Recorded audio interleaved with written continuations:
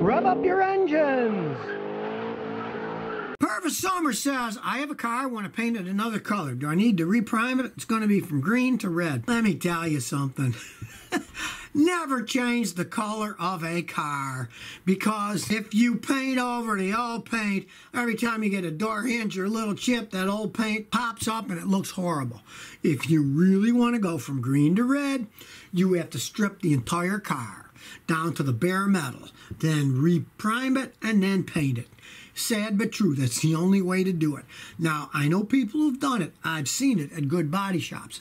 And I've seen guys spend seven, eight, nine, ten thousand dollars getting their car completely stripped and everything taken apart, painted, and then all put back together. It's not worth it for most cars to spend that kind of money on a paint job. That's why you always want to paint them the same color. You paint them over, then you get a little chip. It looks okay, but you gotta strip it down to the bare metal if you want to change colors, and that is an insane job to do that right. I mean, face it, you know, they paint the cars before they even put the engines in the cars.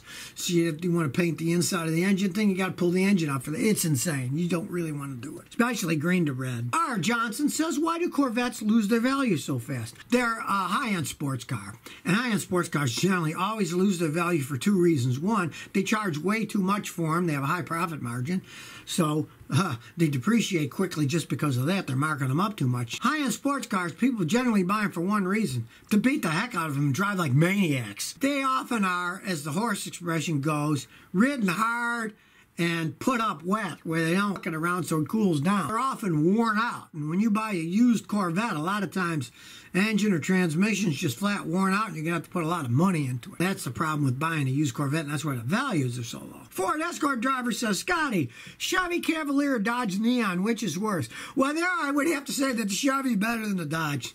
The Dodge Neons, they had poor quality control. Uh, you ride on the road, the fillings in your teeth fell out when you hit bumps. They were a small wheelbase and horrible suspension systems. The Cavalier, there are people that actually like those cars. They tended to fall apart as they got older.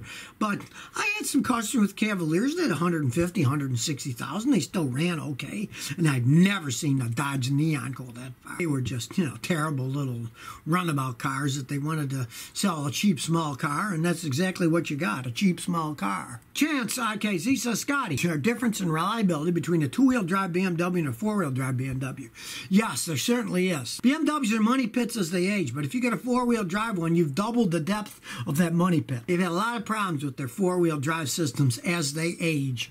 And customers mine, when they had them, the ones that were lawyers and doctors who didn't care and then just wanted them fixed. Some of them spent ten, twelve thousand dollars getting those four-wheel drive systems fixed. The two-wheel drive systems, they don't have as many problems. There's less weight. They get better gas mileage.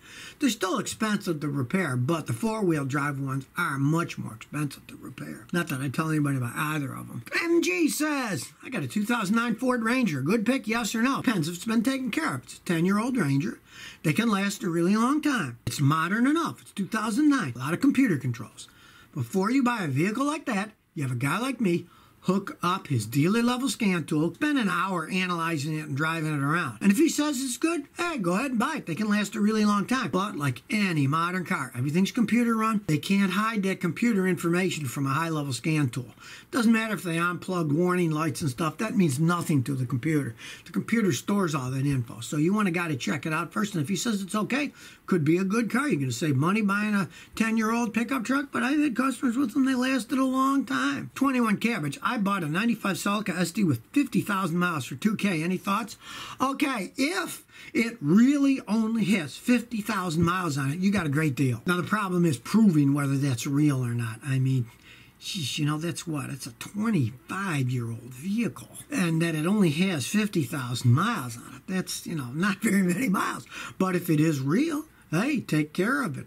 Uh, it's old, so check all the rubber, the brake wheels, pull off the wheels, check all the brake cylinders, make sure they're not leaking, look at all the rubber parts, replace cracked ones, stuff like that. I mean, change the coolant uh, and take care of it. But if it is real, but see if you can do a little research to see if it is real. Because a lot of guys just lie and they'll take a speedometer out of an old wreck car and stick it in, make it look like it's got less mileage on it. So if you never want to miss another one of my new car repair videos, remember to ring that bell.